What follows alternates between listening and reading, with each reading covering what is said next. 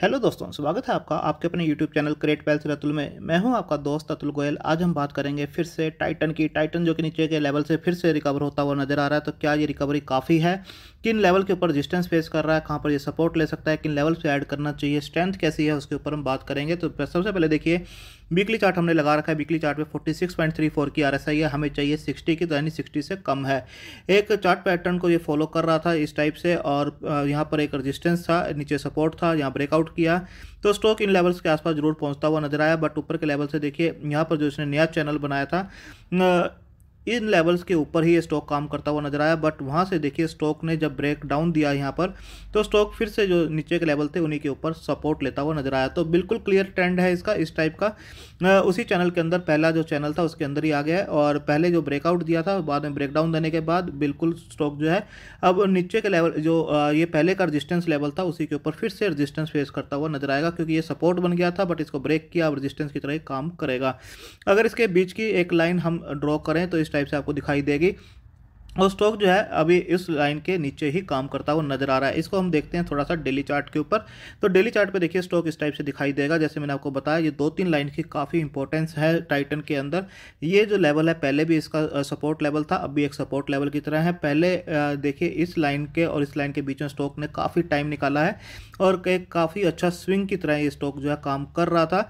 But यहाँ पर जब ब्रेक डाउन दिया तो स्टॉक सीधा इस लेवल के आसपास सपोर्ट लेता हुआ नज़र आया। अब देखिए क्या हो रहा है? डेली चार्ट के ऊपर कि बिल्कुल एक अच्छा सपोर्ट इसने यहाँ लिया है। बिल्कुल अगर आपको इस सपोर्ट के आसपास स्टॉक मिलता है तो बिल्कुल अकोमुलेट करना चाहिए। ऊपर के लेवल पे यहाँ पर एक रजिस्टेंस फेस कर रहा था, जैसे मैंने अभी लाइन ड्रॉ की थी। बिल्कुल उस जो रजिस्टेंस था, उसको ये स्टॉक जो है ब्रेकआउट कर चुका है। यानी कि ये जो हाई था, बाईस का, उसको ब्रेक करके स्टॉक जो है ऊपर जा चुका है। अब बाईस के आसपास ही आपको जो है एक सपोर्ट बनता हुआ नज़र आएगा, क्योंकि ये एक रजिस्टेंस की तरह फेस कर रहा था। अब इसके ऊपर जो है स्टॉक बाईस के आसपास काम कर रहा है। तो पहला जो आपको नीचे के लेवल पे देखना है। अगर 2200 को ब्रेक करता है, फिर से किसी मार्केट करेक्शन 2200 को ब्रेक करके नीचे की तरफ़ जाता है तो स्टॉक अगेन इसी के ऊपर सपोर्ट लेता हुआ नज़र आएगा। बट ऊपर के लेवल पे इसे तेईस रुपए को ब्रेक करना ज़रूरी है। इस टाइम पे एक अच्छा ब्रेकआउट ज़रूर हुआ है। यहाँ से तेईस तक स्टॉक पहुँचता हुआ नज़र आ सकता है। तेईस को अगर ब्रेकआउट कर देता है तो स्टॉक बिल्कुल इस लाइन तक पहुँचता हुआ नज़र आएगा, यानी पच्चीस के लेवल तक पहुँच सकता है। तेईस को ब्रेक करना अब ज़रूरी है। यहाँ से स्टॉक जो है अच्छा ब्रेकआउट दिया है बाईसों के ऊपर, जो कि बनता था। बाईसों से बाईस तेईस तक ऑलरेडी पहुँच चुका है। अब तेईस तक पहुँचना ज़रूरी है। तेईस को अगर ब्रेकआउट कर देता है तो स्टॉक डेफिनेटली चौबीस और पच्चीस के लेवल तक पहुँच सकता है। बट कोई भी बड़ी चाल आएगी, वो इस लाइन को क्रॉस करने के बाद ही आएगी। आप देख सकते हैं, पहले भी इन, इस लाइन को जब इसने क्रॉस किया था तभी इसके अंदर एक काफ़ी अच्छा मोमेंटम बना था, जो स्टॉक को काफ़ी ऊपर तक ले गया था। अब यहाँ पर देखिए, जैसे ही इस लाइन को ब्रेक करेगा, यानी पच्चीस के लेवल को ब्रेक करेगा तो स्टॉक के अंदर फिर से एक मोमेंटम बन सकता है, जो कि इसको लगभग साढ़े सताईस तक ले जा सकता है। उसको हम बाद में डिस्कस करेंगे। तो पहला जो लेवल आपको देखना है, तेईस ऊपर, और नीचे का लेवल बाईसों के आसपास रखना है। बाईसों को अगर ब्रेक करता है तो स्टॉक काफ़ी वीक हो सकता है। अगर तेईस को ब्रेक कर देता है तो एक अच्छा मोमेंटम इसके अंदर फिर से बन सकता है, जो इसको पच्चीसों के लेवल तक ले जा सकता है।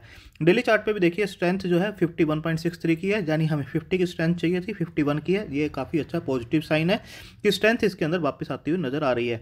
अगर मंथली चार्ट पे देखें तो स्ट्रेंथ जो है 62.95 की है। यहाँ पर भी स्ट्रेंथ अच्छी है। 60 की स्ट्रेंथ हमें चाहिए, और 62 की स्ट्रेंथ है, यानी यहाँ पर भी स्ट्रेंथ है स्टॉक यहाँ से भी काफ़ी अच्छा रिकवर कर सकता है। तो एक अच्छा चार्ट पैटर्न को फॉलो कर रहा है। देखिए, एक अच्छा इसने यहाँ पर अपना सपोर्ट लिया इसी लाइन के ऊपर, जो पहले की लाइन थी, इसको ब्रेक नहीं किया और वहीं से स्टॉक जो है वापस रिकवर होता हुआ नज़र आ रहा है। टाइम ले सकता है पेशेंस रखना होगा टाइम होल्डिंग अपने बढ़ाना होगा और इसको पोर्टफोलियो में नीचे के लेवल्स पे अकोमुलेट किया जा सकता है बट थोड़ा सा पेशेंस रखना होगा, अच्छे रिटर्न बना के स्टॉक दे सकता है, एक अच्छे लेवल्स के ऊपर मिलता हुआ नज़र आ रहा है। थैंक यू धन्यवाद।